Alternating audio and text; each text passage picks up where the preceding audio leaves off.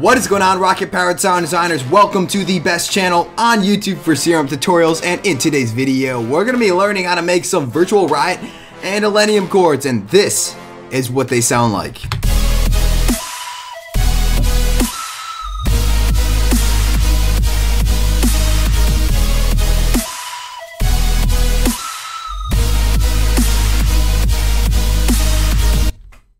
Pretty nasty, right? Those are so thick. They're like perfect chords.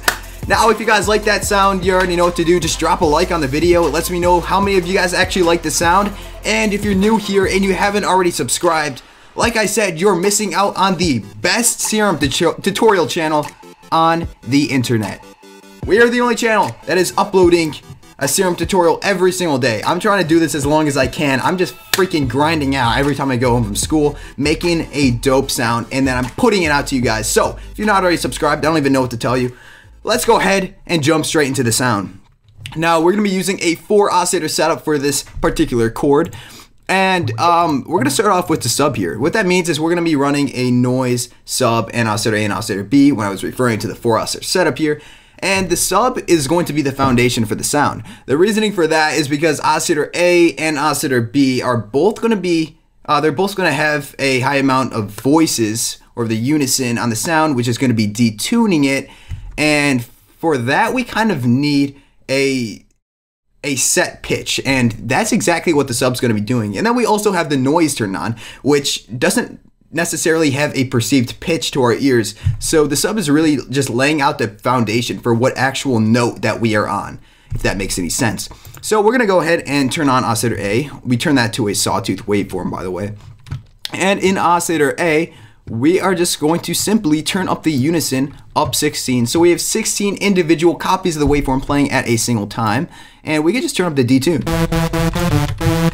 And we get the classic detune saw oscillator B, we're going to be doing a very similar thing, up 16 voices, but except we're going to be detuning it just a tad bit more to about 45. Somewhere around there. And now we're just going to be dropping the octave down negative one. So we are down one octave, then both the sub and the oscillator. And what that does is it just makes the sound a lot more full because not only do we have a foundation sawtooth waveform that doesn't have any detuning on it, but we also have an additional sawtooth waveform that is very detuned, as well as an, uh, a duplicate of that that is just pitched down an octave. So we have a lot of the same sawtooth waveforms that are just kind of going to make the sound a lot more full. Um, I'm just going to turn on the level a little bit of the sub here. And now into the noise here, we're going to turn on the noise. But here's the thing, when we're dealing with chords, um, especially, we want to be rocking a noise that is very thick. So let's just take a listen to the default, which is AC Hum 1. Not too good. I don't think that's really the sound we're looking for. So just browsing through. This is my particular favorite, the ARP circuit. It's very clean, but it's also very full in all of the frequencies throughout our spectrum. Turn on the sub what the hell just was that? Turn on the sub oscillator A and oscillator B now. And that's a little bit too loud. We're gonna drop you back down to the original level, which was around 31%. The reason why the su or the noise isn't too loud is because once we turn on our multi-band compressor, it is going to increase the volume of the noise um, and it's going to notice that the noise is not too loud and it's going to compensate for that and kind of make it a little bit overpowering. So that's why we want to have it at a lower level here, just so everything's evened out and it's not too aggressive. Now what we're going to do here is turn on our filter, which is going to be a low pass 12. And I know we're actually using a lot of the default settings here, pretty bizarre. Um, but for the cutoff, we're just going to be turning it at around 6,500 hertz, this area, around there. And from there, it's just going to be turned on for oscillator A. Turn off the filter, turn it on. As you can hear, we're just cutting out the frequencies or the high-end frequencies on oscillator A, which is perfect because the noise um, is kind of filling in for those um, for those overtones for that, which is just perfect. And to the effects section now, this is really what's going to be driving the sound, making it sound really full. We're going to start off with a compressor, but we're not going to be using the multi-band in the typical way that we normally do in my serum tutorials. So let's go ahead and turn on multi-band. And now what we're going to do, this is a little trick here. We're going to be dragging the ratio down until we get 1.2 to 1. So this is where we were at before. This is where we're at now.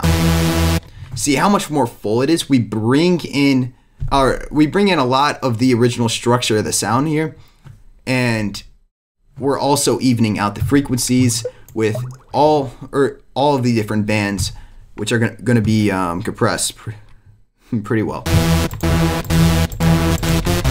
See how much better that sounds? This is a good model that you can do for almost any of your chords.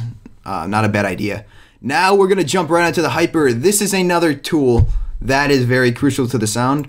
Let's go ahead and turn up the mix all the way to 100% and see what it sounds like. Wow, that sounds like garbage. Um, this is what I like to do when I'm working with specific effects like the, uh, the hyper, let's see, we got reverb and the chorus. Those are the main ones that I like doing this trick for. I turn up the mix all the way just so I can hear the effect that the sound's doing and then I can adjust the mix later on. So I'm going to turn up the unison up 7, so pretty similar to the detuning here. And here we're just going to turn up the detune just about all the way. Turn on the rate.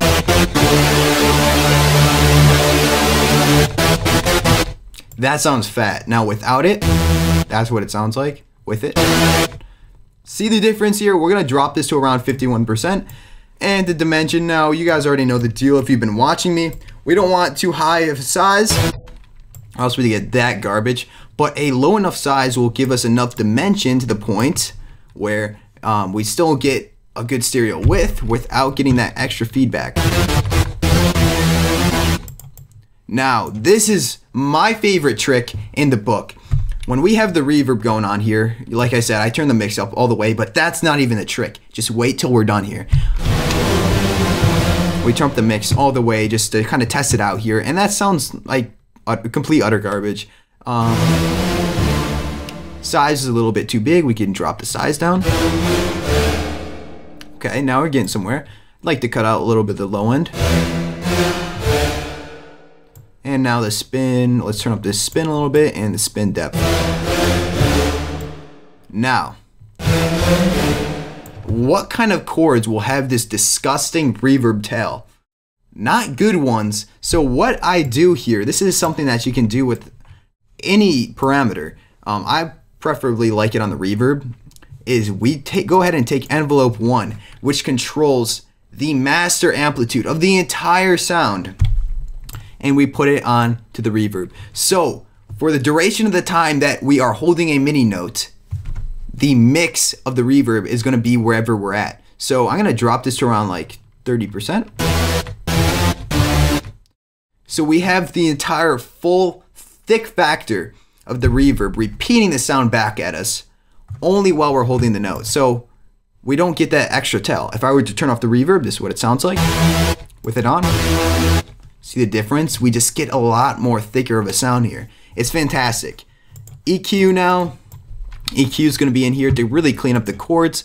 And all we're going to be doing here is just dropping down this one little frequency right here. Turn down the or turn up the Q factor a little bit so we're a little bit thinner. And we're actually emulating a notch filter.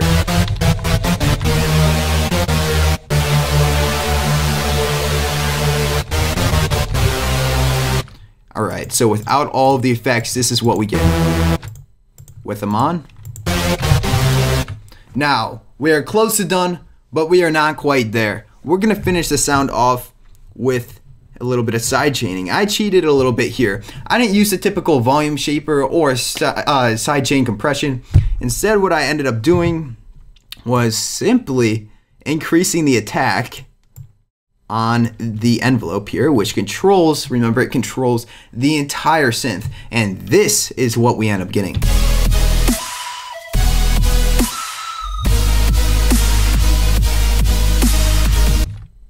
I think that came out pretty damn well. Now, like I said, you guys can go ahead and add on um, your Xfer Records OTT uh, plugin, which is 100% free.